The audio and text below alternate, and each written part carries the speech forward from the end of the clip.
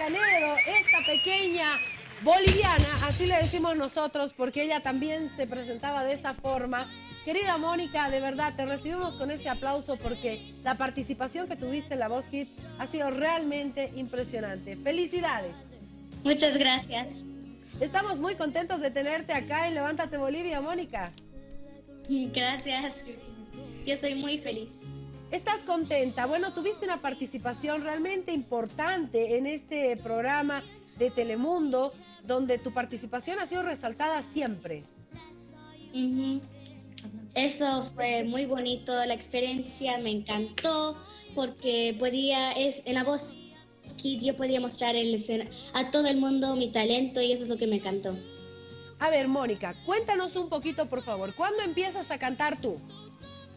Yo comencé a cantar cuando tenía cinco años porque mi abuelita me llevaba a la misa y ahí cantábamos y ella ha dicho un día, trata de cantar y entonces yo, yo, yo traté y después mi abuelita ha dicho, wow, te, puede, yo puedo, ella puede cantar, entonces de ahí yo, yo comencé a, a, gustar la música y ahí yo ya estaba comenzando mi sueño para que sea un gran artista de grande. Ahora, cuando uno es eh, pequeñita, sueña con muchas cosas y me dices que tú lo primero que pensaste en que quieres ser una gran artista. Yo desde chiquita yo escuchaba, yo escuchaba música, me gustaba bailar, tenía una guitarrita de, de, chiquita que yo tocaba y cantaba y eh, de ahí mis papás, ellos han visto que me gusta la música y entonces ahí yo comencé y ahí y después ahí yo yo quisiera estar en un en la tele y ahí comenzó mi carrera de, de, ser un gran artista.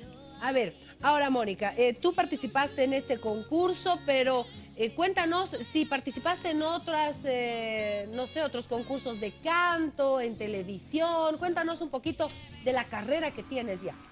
Pues en La Voz Kids fue mi primera vez estar en la televisión. Nunca estaba en otro, en otro, en otra competencia. Esta fue mi primera vez y yo, y yo estaba nerviosa un poquito cuando recién estaba haciendo las audiciones a ciega. Pero después, como pasé en La Voz Kids, yo estaba muy feliz y yo no tenía nervios de entrar al escenario.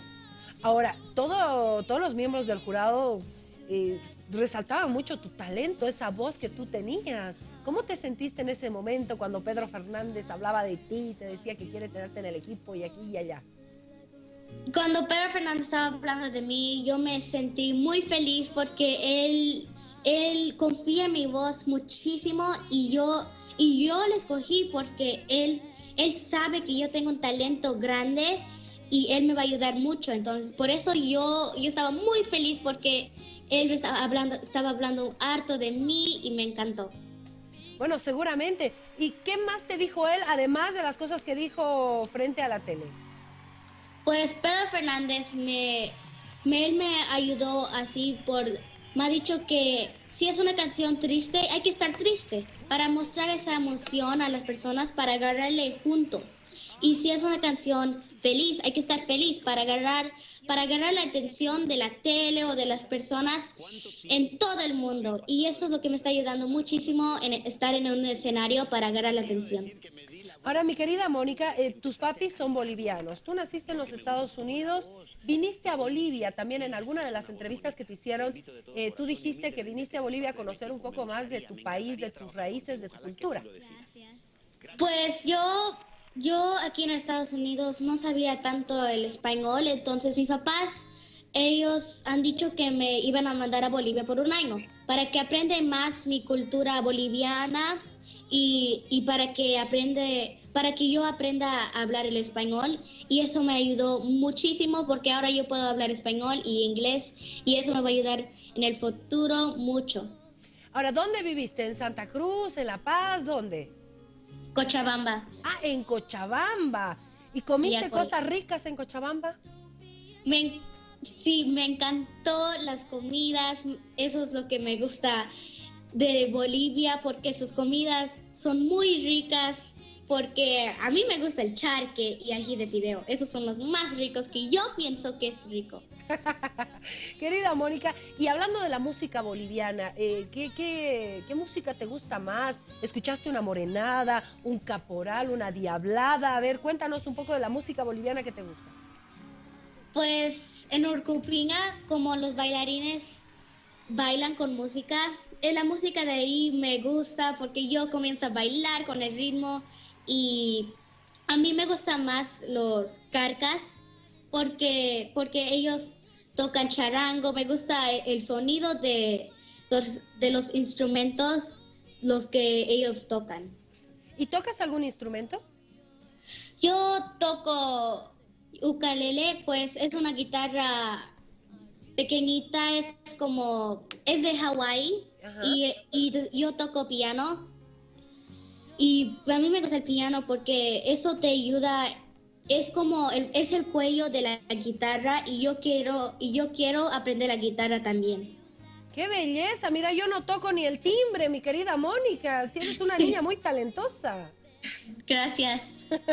Mónica, a ver, voy a pedir a mi, a mi amiga sonidista que tampoco tiene tanto talento como tú, te diré. Mentira, mentira, mi querida Mónica. Pero eh, quiero que escuches un caporal. Y quiero ver cómo baila Mónica. ¿Qué te parece? ¿Bailemos juntas? ¿Sí? Ok. Ya. Que saque la silla la mamá. A ver. A ver, caporales.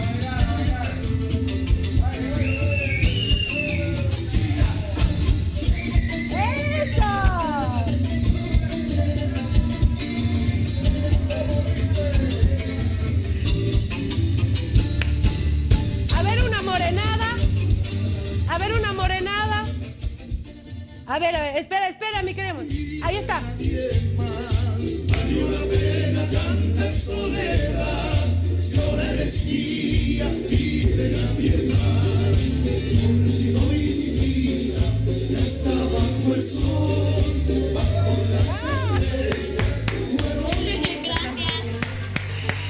Bueno, definitivamente tienes la música en la sangre, se nota, mi querida Mónica. Eh, sabemos que eh, fuiste descalificada el fin de semana, pero para nosotros hiciste una gran presentación. Y sabes que me gustó mucho, mi querida Mónica, que cuando hablabas de Bolivia, cuando te decían de dónde eras, tú te sentías orgullosa de ser boliviana, de tener padres bolivianos. Así es. Estoy muy feliz porque yo estoy representando a Bolivia, porque ahí está casi toda mi familia y, ahí me encanta eh, eh, Bolivia porque la cultura es muy preciosa. Yo nunca he visto una cultura tan, tan linda como, como Bolivia. Esa es nuestra patria, querida Mónica. Y gente como tú, gente como tus papás nos hacen quedar muy bien. Porque a pesar de la distancia y de tener eh, otras costumbres en otros países, ellos hacen prevalecer la sangre boliviana. Tu mami está ahí, la estaba escuchando al lado. Mónica, ahí está. ¿Dónde está?